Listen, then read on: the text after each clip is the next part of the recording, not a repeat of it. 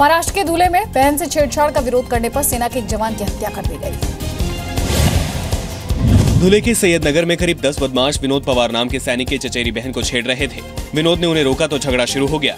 गाँव वालों ने पंचायत के ज़रिए झगड़े को सुलझाने की कोशिश की लेकिन अगले दिन नाराज़ बदमाशों ने चाकू से विनोद पर हमला कर दिया। विनोद की मौत हो गई। रस्त्यावर भावाला? आणि तिथं मा मा मारायचं चालू केलं त्याला मग परत उद्या उठून सकाळी आम्ही पंचायत बोलवली तिथं गेलो डायरेक्ट हल्ला केला त्यांनी चाकूने विनोद पवार पंजाब के फिरोजपुर में सेना की बीएमई 607 बटालियन में तैनात थे। विनोद परीक्षा देने के लिए छुट्टी पर अपने घर आए थे। पुलिस ने विनोद पवार की हत्या के मुख्य आरोपी ध्यानेश्वर राठौड़ समेत आठ आरोपियों को गिरफ़्तार किया है। राजस्थान में अजमेर के एक अस्पताल में एक ही रात में पाँच बच्चों की मौत हो गई। अजमेर की जवाहरलाल नेहरू अस्पताल में रहस्यमय हालात में पाँच बच्चों की मौत हो गई। पहले बच्चे की मौत रात 11 बजे के करीब हुई। इसके बाद सुबह छह बजते बजते कुल मिलाकर पाँच बच्चों ने दम तोड़ दिया। मरने वाले बच्चे 10 घंटे ऐसी लेकर दो दिन के थे।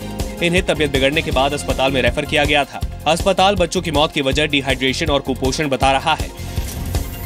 निश्चित रूप से मैं ये कह सकती हूँ कि उनको बीमारी के कारण से वो एक नॉर्मल जो डेथ होती है वो नॉर्मल डेथ हुई है। काफ़ी अति गंभीर बीमारियों से ये ग्रस्त बच्चे थे काफ़ी मल्टीपल फैक्टर होते हैं। हालाँकि अस्पताल की लापरवाही भी सामने आ रही है।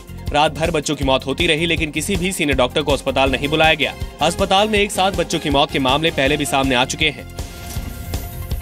दिसंबर 2015 में पश्चिम बंगाल के मालदा अस्पताल में पाँच बच्चों की मौत हो गई।